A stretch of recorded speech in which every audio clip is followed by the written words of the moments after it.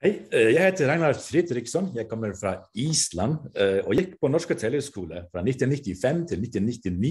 På, først på kjøkken- og hotelledelse, reiselivsledelse og serviceledelse, før jeg dro videre til England og tok MBA, en mastergrad. I dag så bor jeg i Frankrike i de siste 20 årene og jobber som direktør til Kokkenes verdensforening, Welshels. Denne tiden i Stavanger var veldig viktig for meg. Først så har Norsk, norsk hotellhøgskole virkelig hospitality-orientelse. Og der traff jeg masse av mine gode venner som fortsatt jeg har kontakt med i dag.